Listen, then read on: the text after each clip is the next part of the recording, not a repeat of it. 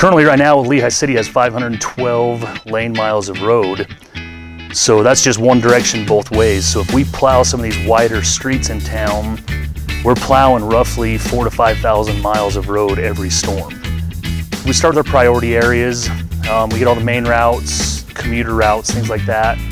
Break off into the school zones and try to get everything done before the public gets out.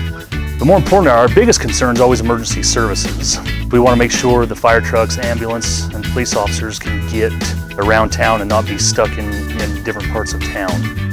Our police department's amazing. They, they jump out, they jump ahead of us, they shut roads down, they're clearing the traffic off the roads so that we can plow them, and also they're working traffic accidents. Getting into those cul-de-sacs are difficult, because once we do get through the primary roads, the priorities one and two, a lot of times the snow is packed down in those cul-de-sacs. So we do try to get to them as soon as we can. Um, the hardest thing for us, to be honest with you, is cars on the road. That's a, it's a big obstacle. Um, these trucks obviously don't stop easy, they don't stop fast.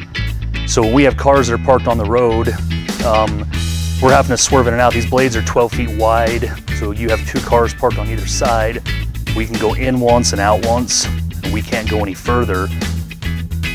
With the 24 hours after a storm, we're still finishing the cleanup process. We're still pushing back subdivisions, getting into those tighter, lower priority areas. You know, be patient, understand that it is winter, it is Utah. If there's issues that you guys see that we don't see, you know, don't hesitate to call them, report them.